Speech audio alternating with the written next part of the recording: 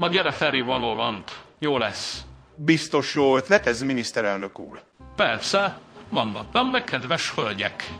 Bar for me, Victor. Viktor, hát honnan vannak ezek a skinek? Csak nem megint a közpénzt költöd. Ez olyan felgondolás. Ezeket az árakat még akkor se tudnám finanszírozni, ha a közpénzt lopnám. Persze, arról vagy híres. Na jó, ezt most itt hagy babba.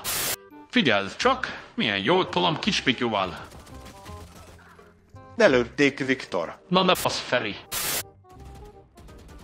Hát hogy ezt eltátok. Nem kicsit, hanem nagyon. Csak úgy, mint annak idején, te, mi? Na ez azért csúnya volt.